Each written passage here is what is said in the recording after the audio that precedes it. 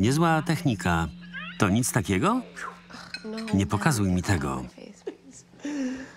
Nie miałeś się spotkać z Pulęk? Miałem. Ładuję akumulatory. Obrzydzasz mi. Kiedy planowałaś wyjawić, że znów rywalizujesz? Miałaś sobie tylko pływać. Dzień dobry, pani Bele. Rozgościłeś się? Jest jak w domu. Zaczekam nad basenem.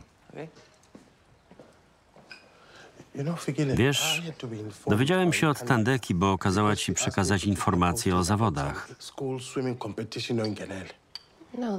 Antoni jej powiedział. Antoni też wiedział? Miałam ci powiedzieć. Kiedy, Fikile? Jak możesz rywalizować? Rana się nie wygoiła. Dopiero co miałaś problemy na treningu. Lekarz mi pozwolił. Przemyślałem sprawę. Spotkajmy się z Matlą. Możemy porozmawiać później? Zapomniałam, że mieliśmy się pouczyć. Zjedz coś. Eat.